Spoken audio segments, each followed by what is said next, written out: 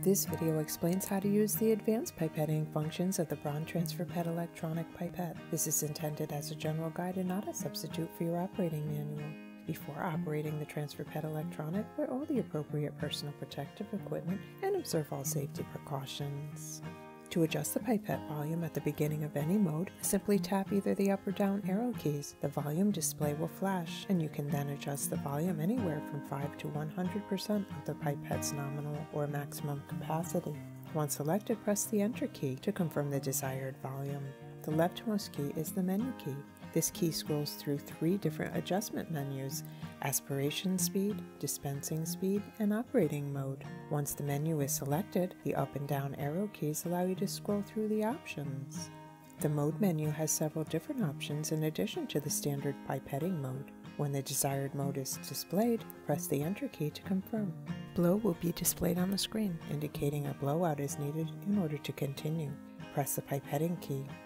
Pip Mix is the mixing mode. Press the pipetting key once to aspirate the preset volume. Press and hold the pipetting key a second time to sequentially aspirate and dispense a fraction of the volume up and down until the pipetting key is released. The number of mixing cycles will be displayed in the upper right corner of the screen, up to a maximum of 19 cycles.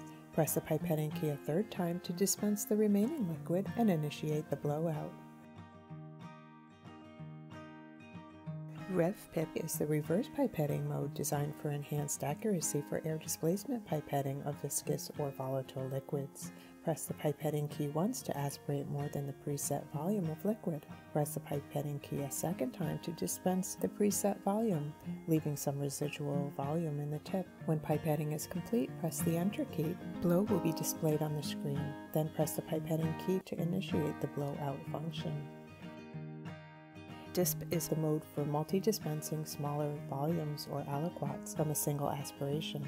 After the dispensing mode is selected and confirmed, the maximum number of steps, if possible, will be displayed in the upper right-hand corner of the screen. If desired, the number of steps can then be adjusted with the down arrow key.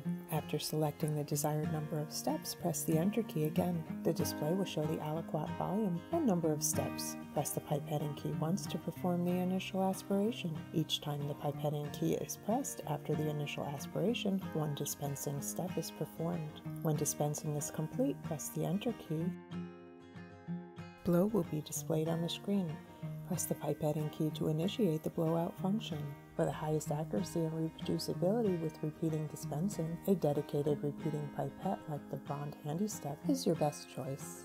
Transferpette electronic instruments with a nominal capacity of 300 microliters or less has an additional gel loading mode. Press the pipetting key to aspirate the preset volume. If you would like to aspirate more than the preset volume, hold the pipetting key down. The pipette will continue to aspirate up to 110% of the nominal volume. When the pipetting key is released, released, the aspirated volume will be displayed. Press the pipetting key a second time to start dispensing. Dispensing in the gel loading mode is at a very low speed so as not to overload your gel well. When you want to stop dispensing, press the pipetting key a third time. The actual dispensed volume will then be displayed. To discharge the remaining liquid in the tip, press the pipetting key a fourth time. The pipette will then be ready to aspirate your next gel sample.